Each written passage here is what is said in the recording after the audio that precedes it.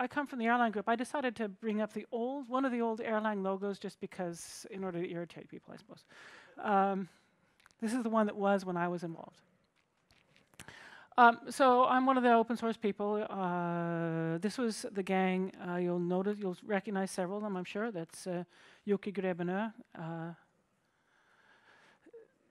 who ran Ed, Eddy, and we did uh, open source once upon a time, a long, long time ago. I apologize for my 1990s clothes. Um, there you go. Uh, it's about a little over 20 years ago now. Whew. Okay, uh, and then we sold. We then we, after that we went and we sold Bluetail. Bluetail uh, we sold to a company called Alteon, and sold it into. They sold themselves in turn to Nortel. Um, Bluetail technology actually survived uh, in Nortel. As a matter of fact, a couple years ago, I was trying to sell something to uh, Telecomish and called up a company, and it, they wanted to explain to me about this robustifier thing which is what Bluetail did. I, actually, I know this stuff. I, I, I understand what you're doing. Oh, no, it's really complicated. It's okay. I was involved 20 years ago. It's okay. um, anyway, but it left, and uh, it actually made a profit for many people. Uh, not only those of us who were there, the VCs got 28 times their money in about a year, and uh, Nortel made money, which is pretty damn amazing. Um, they didn't make money on anything else. All right. Um, okay, so that's how I started this. Okay, I was kicked out of Nortel and did this for a while. Um, but it's not really enough to keep me busy. I'm one of these workaholic people. Uh, so I started to invest uh, in startups because life is otherwise kind of boring. I've been with the same man since 1981. We've lived in the same house since 94. Uh, pretty damn stable. Okay, so uh, this is the way I live in my work roller coaster. Really big, scary roller coasters, constantly. So I've done a few startups. These aren't all of them, most of them. Uh, and this is what's happened to them. Um, three of them, well, two and a half of them are listed. Tobii and Ellen are listed. Uh, Midsummer will be listed the 21st of June, which is three weeks from now. So I put them in the listed section. Um, it's uh, growing. Well, there's Klarna still growing. SatCube uh, does is growing as well. They they just graduated from me uh, this winter. Um, grad what what so what I do and what we do now in the family is we choose a startup and actually work there. Around one of us three will work there around 30%, and the other two will do everything we can to help. So it turns into about a half-time job plus money into a startup. And we stay there until the company is actually stable, whatever stable means for that company. So for SatCube, uh, they went from no product, no money, no salespeople, no contact with customers to, oh my God, um, um, we were only thinking about doing 20 of these this year, but you want 103? Oh! And I'm going, fine. Here, take one of these three production managers and, or one of their friends and go, I'm out of here. Because now it's all about quality systems. Um, we've done some trade sales as well. Um, Bluetail was a trade sale, right? Lensway was a trade sale. And three, which you probably don't know as well, Tekla, Panoptic, and Mecca, were also trade sales. Uh, pretty respectable thing to do. You do some product development that somebody else needs. Uh, three of them liquidated a bankruptcy. Not so much fun. One of them, Sunline, I went in and was going to say, okay, now let's just start work. Um, by the way, you don't have a shareholders agreement, just fix that. And the whole thing imploded. Whoops, okay gone. Uh, and three that uh, the three of us are working on at the moment. I'm working mostly with RaceFox. It's a real-time coach, digital coach. It will tell you to that you're bouncing up and down too much as you're running. Pretend you, if you are, right then, or that your right leg seems to be stronger than your left, and here's some exercise you really ought to do. Or uh, it's time. You know what? You're in good enough shape. You could actually finish this race now there. Uh, uh, Volumental does 3D scanning of feet, recommends shoes that'll fit. Econo is machine learning for IoT, really tiny processors, Raspberry Pi and lower. Okay, so this is what I've done last 20 years.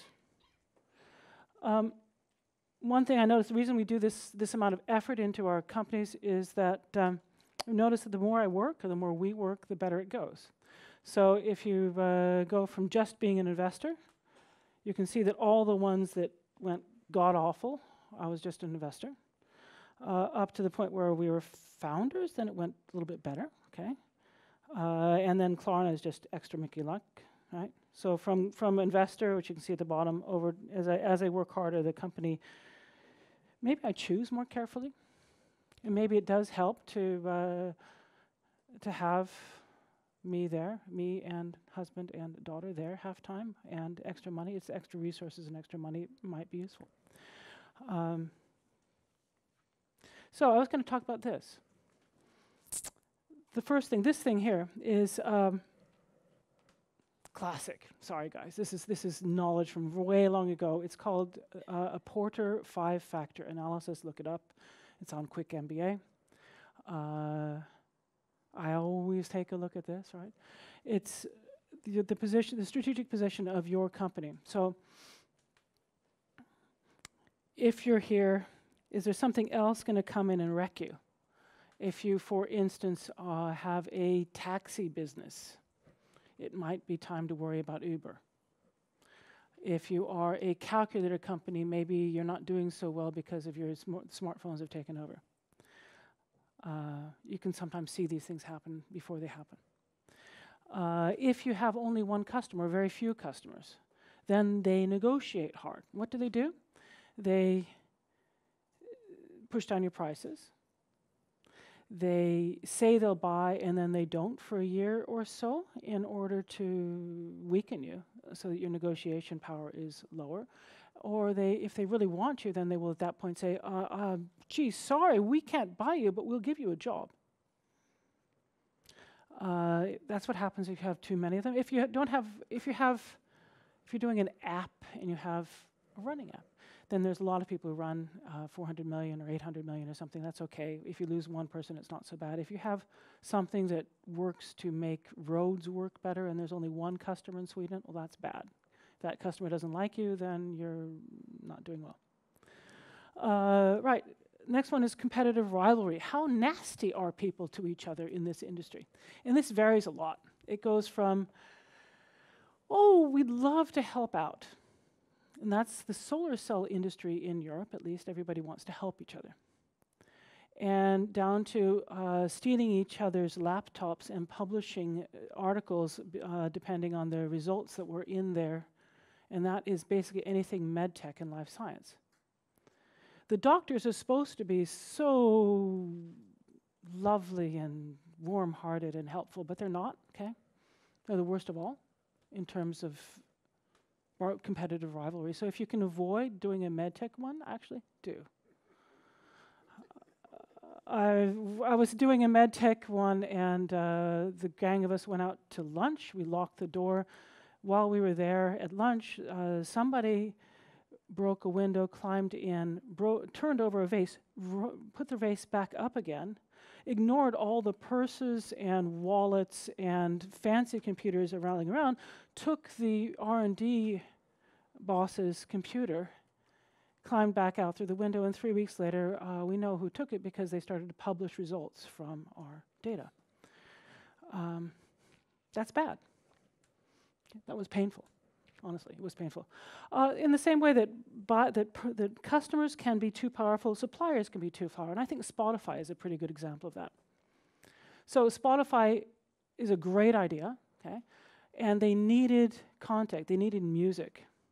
They really needed that. Without that, they didn't have anything. Who owns the music? It's the, it's the music industry company, the people who have the rights, okay? And so what did they do? They said, oh, interesting idea. First of all, we require to buy a chunk of your company. Second of all, we're going to put the price per play for the music extremely high. So you're going to make you're going to lose money hand over fist, which Spotify has done. Okay, and then they've had to pump, had to pump in more money, which meant that they've been able to buy more and more of the company. right? So they basically squeezed out, although the founders are doing just fine, it's not that, but they squeezed out an awful lot. And it's not that the artists are earning money, it's that the, the, the music industry is earning money on Spotify. That's the supplier power, right? And they could use it to take over the company. And then threats of substitutes. Um, uh, what can we say? Uh, if you were doing Java threads in 1995, I think that Erlang was a pretty good substitute. Okay, come in, right? Uh, right, so this is what you look at. At least one of the things I look at.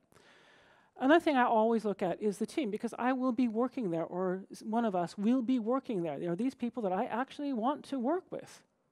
Do I like them enough? Will I care whether their wives or husbands are have a cold? Because that is the level that I know people at. Okay, they're my they're they're my colleagues, so I know who's who's you know all that, and I want to feel that, okay, yeah, this is going to be fun. We're going to go through hell and high water. We're going to be on a roller coaster together. We can trust each other. This will work out fine. It'll be painful. it will be because I know it will be painful, but it'll be, it'll be fine. We'll do it. Okay, and then you need an idea, okay? Something. Um, they're never mine. I wish they were, but they're not.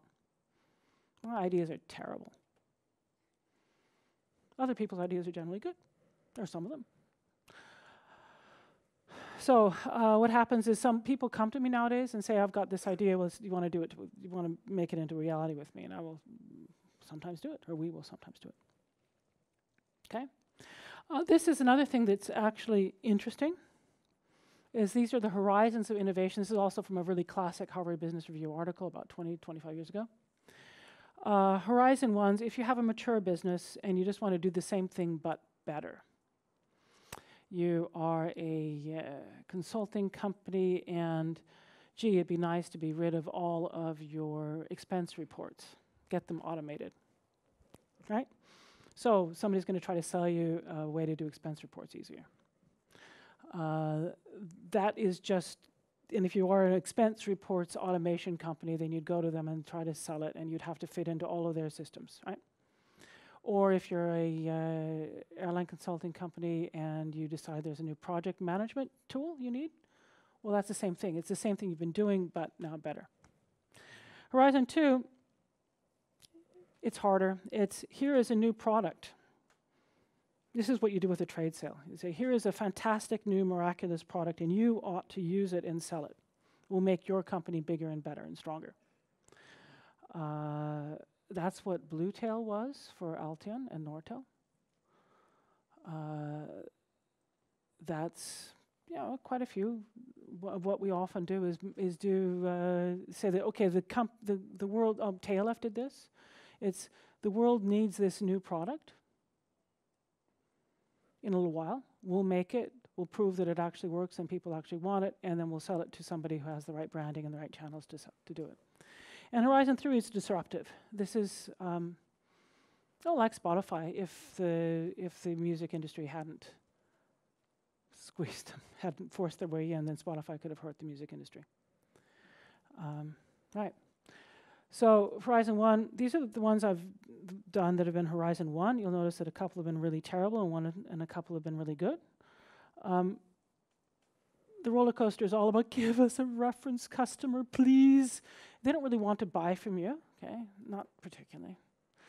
But please give us a reference customer. And if you can get a reference customer early, that's something you want to look for. If you have the company you're considering joining has a really good contact with some important customer, that's actually a really good sign. Um, hmm? These are the problems you have here. Uh, often they'll have uh, payment times of around 90 days. Uh, it's hard to survive 90 days uh, without being paid. It just is. Um, Horizon 2.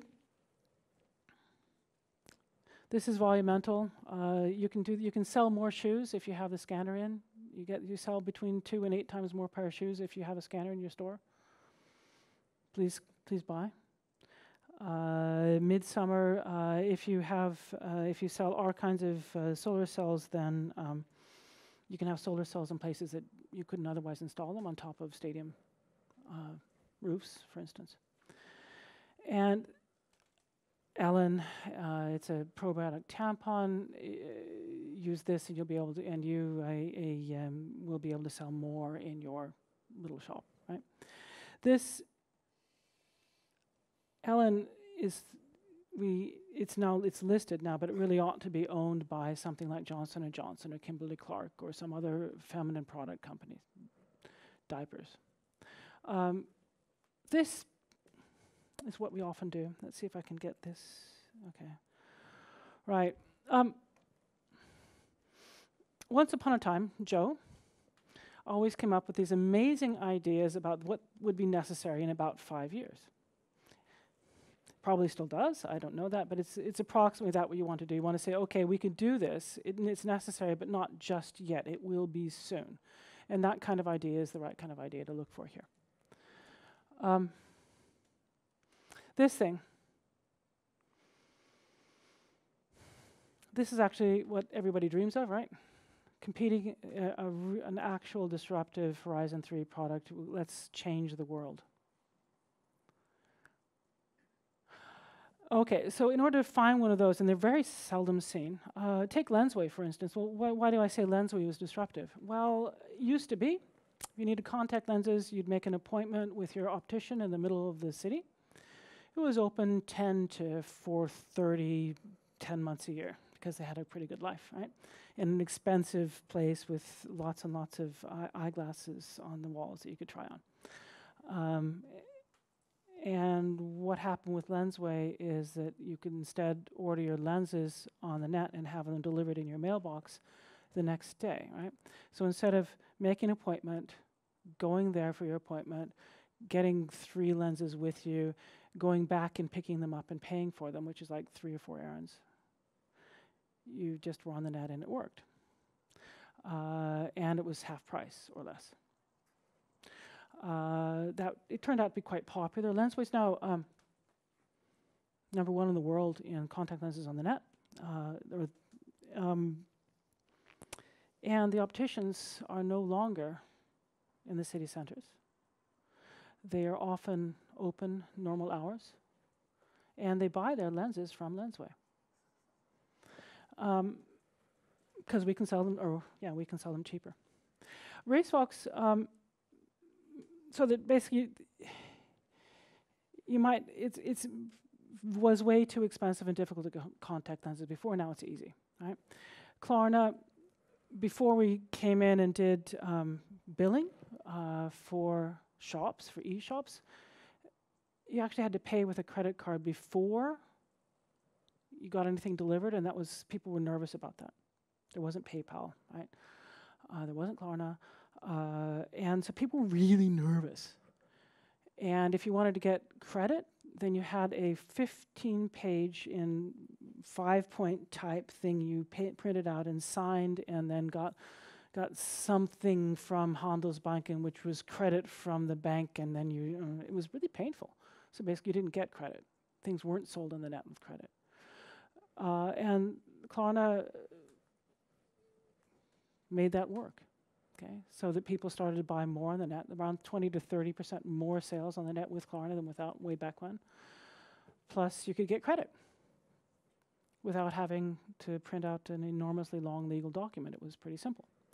Uh, that meant that there was a lot more sales on the net, and it meant that you know Klarna's done quite well. RaceFox, which is my current baby, uh, are people who run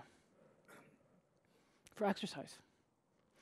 Around somewhere around 55 to 80 percent of you all, I wish I were one of them. I'm starting to be, but I'm not. I'm out of shape. Uh, get hurt every year. Bad knees, uh, shin splints, uh, stretch a muscle in your thigh, um, something happens, right? Uh, plus, so you run wrong, you hurt yourselves. And so you have these ideas, like I do, like I'd really like to get into shape. That would be wonderful. And so you go out and start to run, and then you hurt yourself, and then you're in worse shape than you were before because you have to actually lay down on the sofa for a few weeks, right? Not great. Um, so what we do is we have a, a coach in the eye, ears. uh, that will tell you how to, we, we understand when you're running exactly how you're running. We can tell what your strengths and weaknesses are. We can tell when you're likely to be injured soon, so stop running. Uh, we can tell that your right side's stronger than your left, and it's time to do exercises to make your left side stronger. We can do all this, and we do it in your ears uh, on a subscription with AI. Also, if people report that their right knee hurt when they're running, then we will ask again the next morning, uh, is, you, how's your knee? And if it still hurts, well, then that's a real hurt. If, you, if it hurts while you're running, uh, that happens, right? But if it hurts the next day, then you're, you're actually injured. Uh, so we can actually help people with that. And this is what we're competing with is people, otherwise it'd be personal trainers, right? But they cost 800 pounds an hour or 600 pounds an hour. And people don't, and they're, they're not with you when you want to go running at 11 at night or whatever it is, right? Uh, so we're with you all the time. So at least when, when I'm running, I, will say, okay, short steps. One, my, one of my problems is I take too long steps and I ended up on my heel, which gives me shin splints.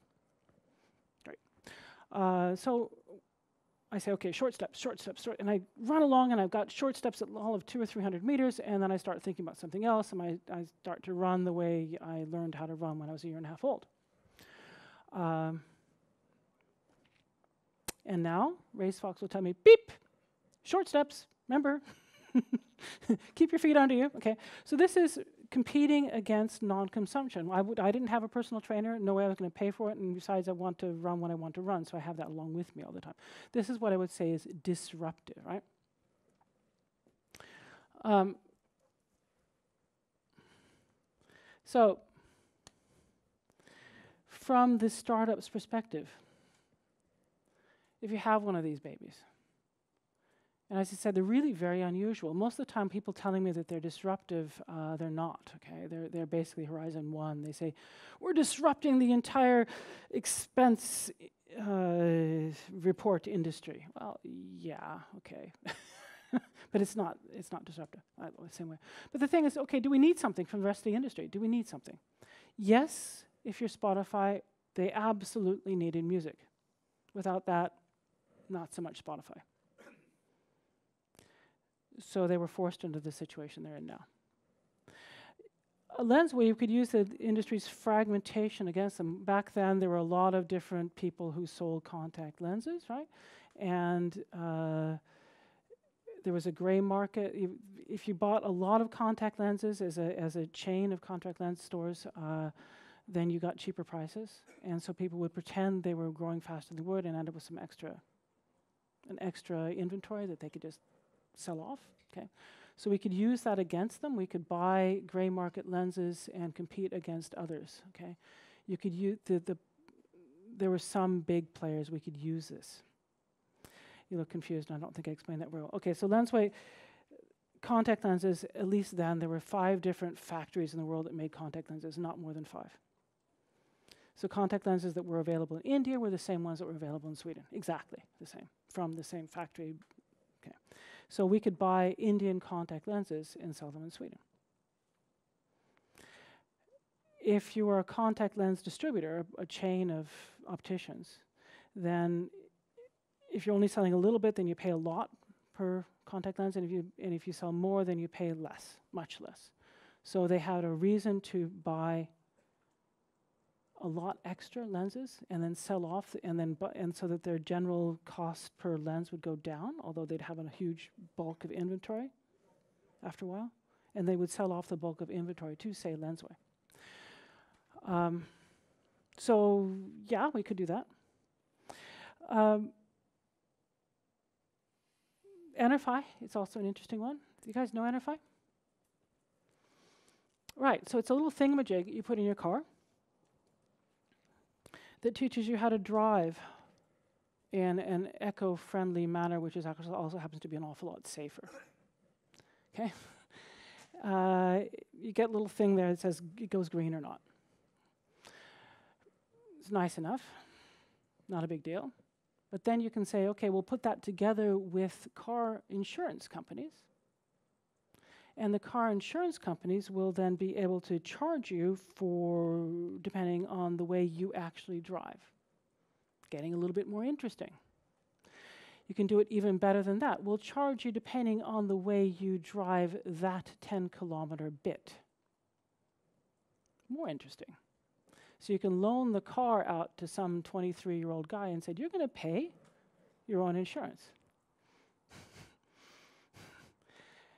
And uh, suddenly, you've got a circular economy for cars because you can loan them out to each other and the insurance is covered.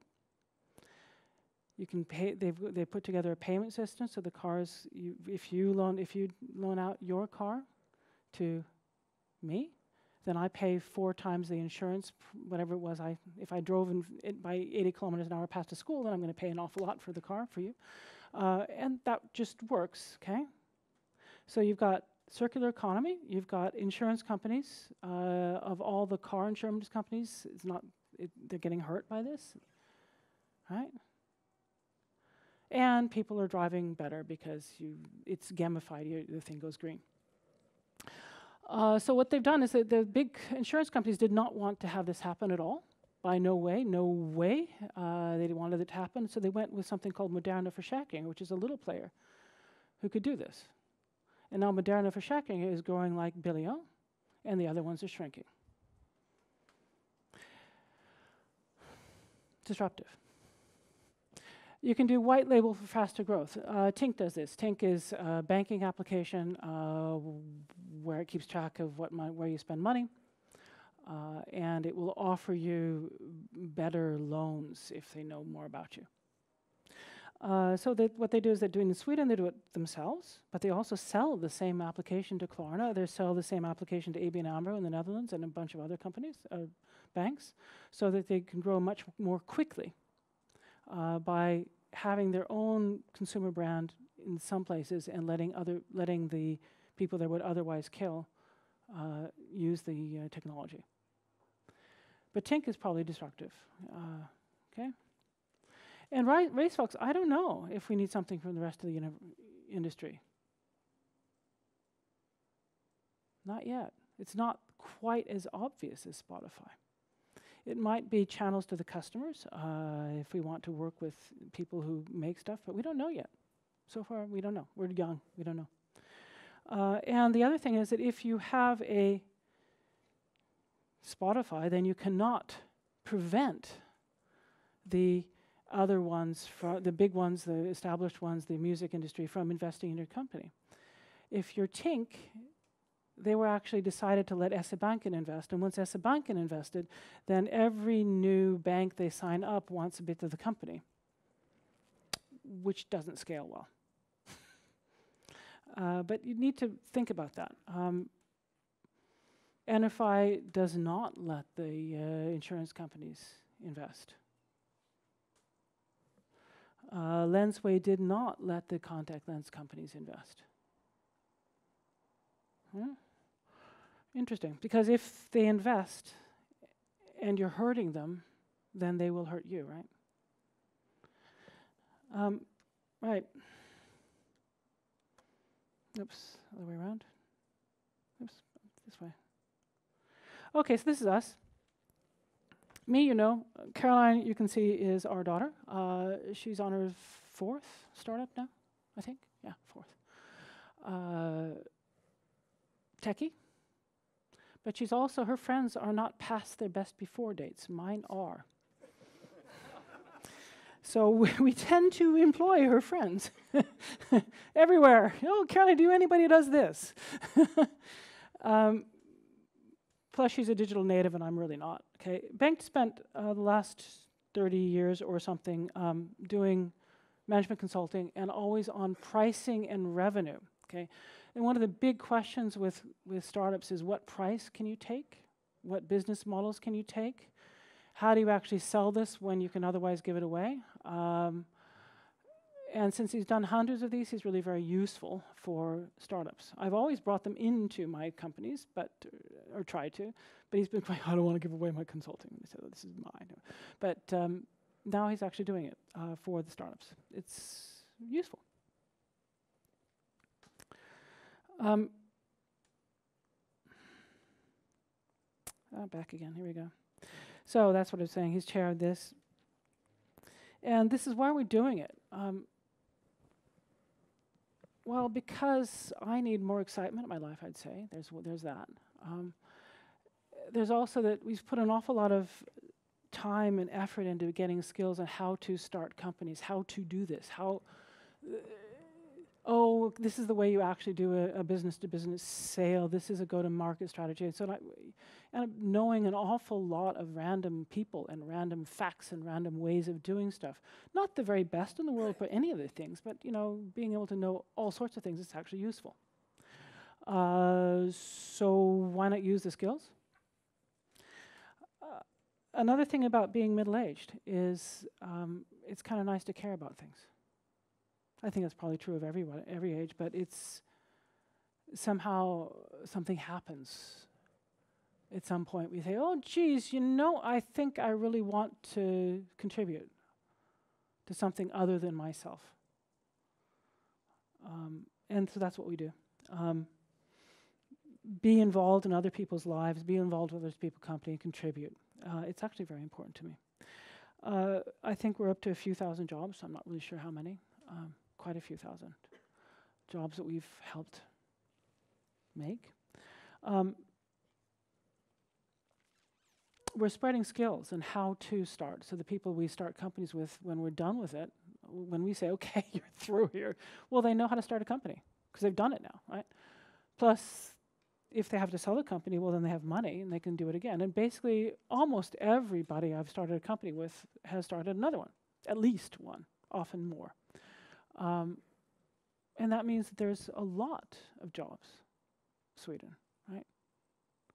And not only in Sweden, but, but mostly in Sweden, some in Switzerland as well. Um, and so we're getting a startup community. Uh, and I think that the Erlang community has been extremely strong in the startup community in Sweden and in other places in California and the UK and a lot of places.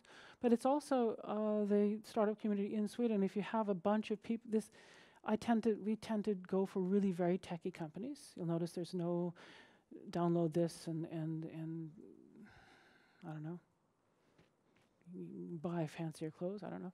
Uh, and we've been getting people like you, honestly,